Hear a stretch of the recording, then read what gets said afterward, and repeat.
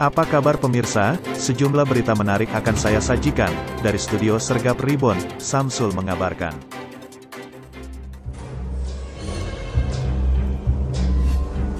Media sosial tengah dihebohkan dengan video seorang polisi mengejar hantu kuntil anak. Dalam video berdurasi lebih dari satu menit itu, polisi yang sedang dalam perjalanan pulang melihat pengendara motor perempuan berambut panjang mengenakan baju putih yang tidak memakai helm. Ternyata perempuan itu adalah kuntil anak. Polisi itu pun langsung menilang kuntil anak. Kuntil anak itu kemudian mengambil daun dan mengubahnya menjadi uang dengan tujuan menyuap sang polisi. Namun polisi tersebut malah memberikan si kuntil anak surat tilang slip biru. Si kuntil anak pun menyesal. Ya, cerita itu bukan kejadian sebenarnya tapi merupakan bagian dari sosialisasi keselamatan berkendara, khususnya imbauan mengenakan helm oleh Polres Bogor. Video yang diunggah Polres Bogor di akun Instagram @polresbogor mengundang reaksi warganet.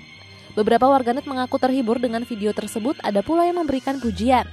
Bagaimana dengan Anda? Apakah Anda juga merasa terhibur?